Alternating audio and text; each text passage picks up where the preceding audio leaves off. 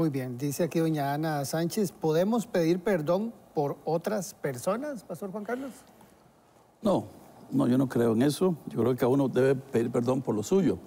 Podríamos estar en algún momento en el cual nos unimos, ¿verdad? Para clamar como iglesia, ¿verdad? Entonces aquí estamos hablando toda la iglesia o como nación, pero nadie puede pedir perdón por otro, o sea, el perdón es individual. Cuando vemos los ejemplos en el Antiguo Testamento es porque había un pacto que era de toda la nación, entonces toda la nación estaba involucrada en el pacto. No pasa eso en nuestros días. En el país en el que yo vivo, no todos están en el pacto de Dios.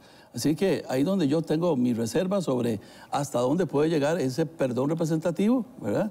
Si es un acto nada más eh, en el mundo espiritual para que quede constancia, pero yo no le veo efectividad al perdón por otro. Yo sí puedo orar por, por que otra persona pero- me arrepienta, pero- pero no puedo pedir perdón por ella.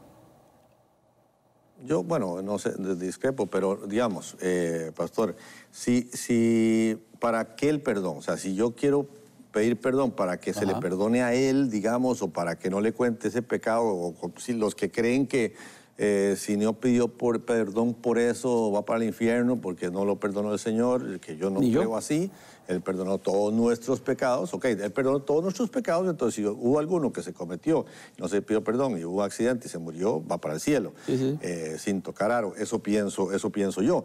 Pero, pero este, digamos, eh, mi papá cuando él muere al, al año o algo así, eh, me llama una señora eh, de una persona que había afectado mucho a mi papá en el ministerio, no el ministerio enlace, un ministerio anterior.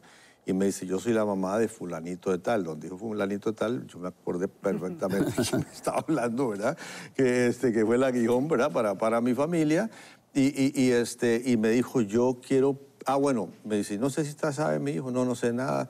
Bueno, él murió, él, él murió, pero yo siempre me quedé con eso y ahora eh, que murió su papá, yo tengo que sacar esto y yo quiero pedirle en nombre de la familia y en nombre de él perdón, ¿verdad? Porque nosotros afectamos, a mi hijo afectó, ta, ta, ta, ta, ta. Eso fue para sanidad de ella, fue para sanidad de nosotros, fue para sanidad mía. Pero entonces en ese sentido, y el, igualmente el perdón identificativo, bueno pedir perdón, no para lo otro, ¿verdad? Pero pedir perdón yo creo que sí procede como familia, como sociedad, ¿verdad? Este, por, al- por errores de, de otros, me parece. Sí, en ese caso sí. O sea, sí lo entiendo y me parece que es razonable.